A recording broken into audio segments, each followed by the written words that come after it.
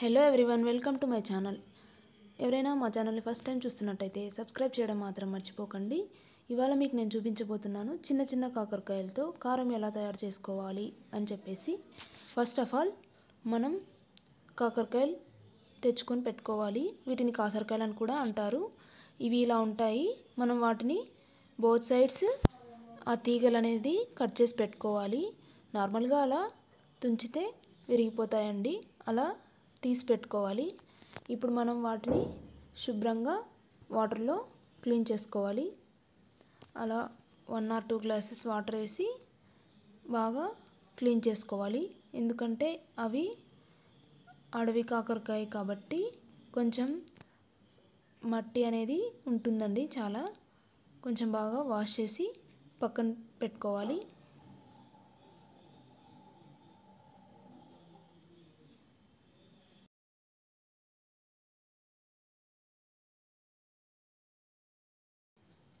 ఇప్పుడు మనం ఒక ఆనియన్ కట్ చేసి ఇలా ముక్కలు ముక్కలుగా కట్ చేసి పక్కన పెట్టుకోవాలి.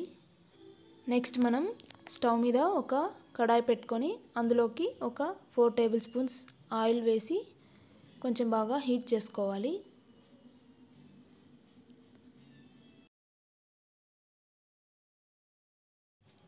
కొంచెం హీట్ అయిన తర్వాత అందులోకి మనం జీలకర్ర ఆవాలు వేసుకోవాలండి. ఇవి కొంచెం చిటపట్లాడిన తర్వాత మినప్పప్పు వేసుకోవాలి.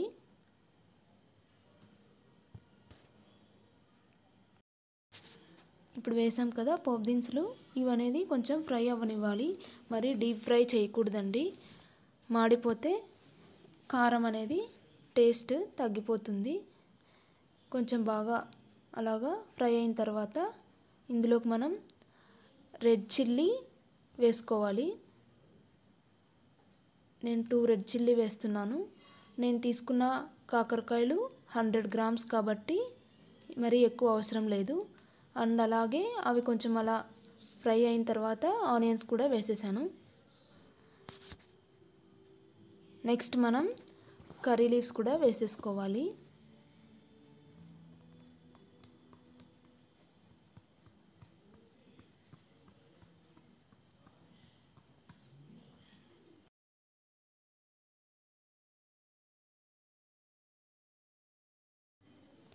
ఆనియన్స్ వేసాం కదా ఇవి కొంచెం ఫ్రై అవ్వడానికి టైం పడుతుంది.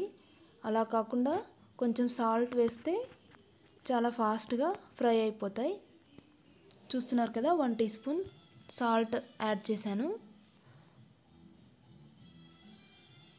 ఒక త్రీ టు ఫోర్ మినిట్స్ అలాగా ఫ్రై చేసిన తర్వాత మనం కాకరకాయలు అనేది యాడ్ చేసేసుకోవాలి.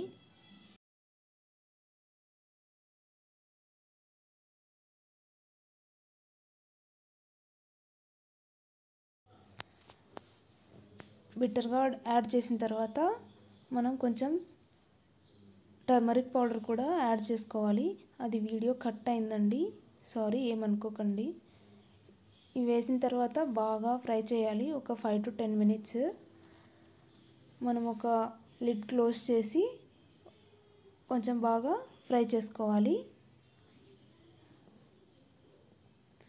ఇప్పుడు మనం మసాలా ఎలా తయారు చేసుకోవాలో చూద్దాం.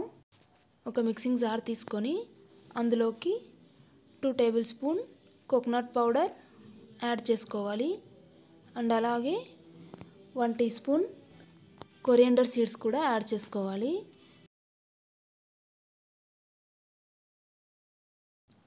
సిక్స్ టు సెవెన్ గార్లిక్ కూడా వేసుకోవాలి.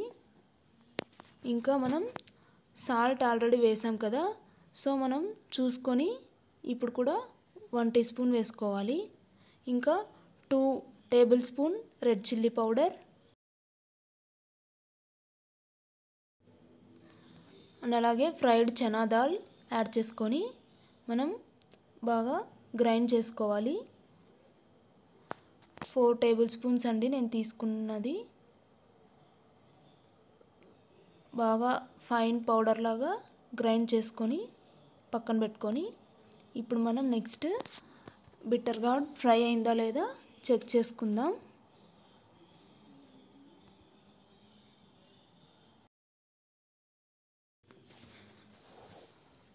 లిడ్ ఓపెన్ చేసేసి ఇలా ఒకసారి చెక్ చేసుకోవాలి.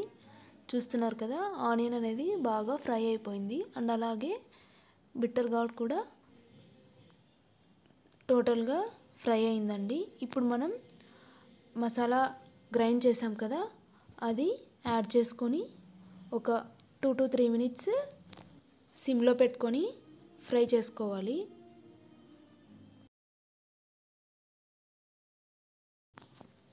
మధ్య మధ్యలో ఒకసారి అలాగా తిప్పుతూ ఉండాలి లేదంటే కారం పొడి కదా అడుగంటిపోతుంది.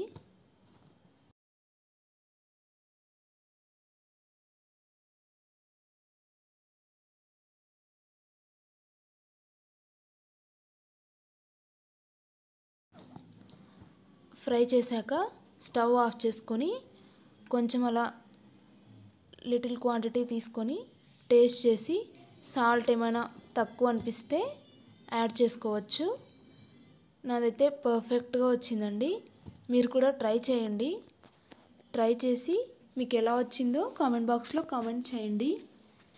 ఈ కాకరకాయ కారం రైస్లోకి అయితే గీ యాడ్ చేసుకొని తింటే చాలా అంటే చాలా బాగుంటుంది. టేస్ట్ అయితే అసలు మార్వలస్గా ఉంది.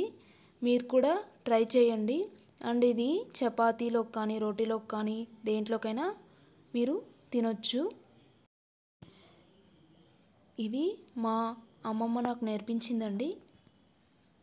చూడండి ఎంత కలర్ఫుల్గా వచ్చిందో అసలు. చూస్తే నోరూరిపోతుంది. ఈ వీడియో మీకు నచ్చినట్టయితే లైక్ చేయండి షేర్ చేయండి సబ్స్క్రైబ్ చేయడం మాత్రం మర్చిపోకండి. Please friends.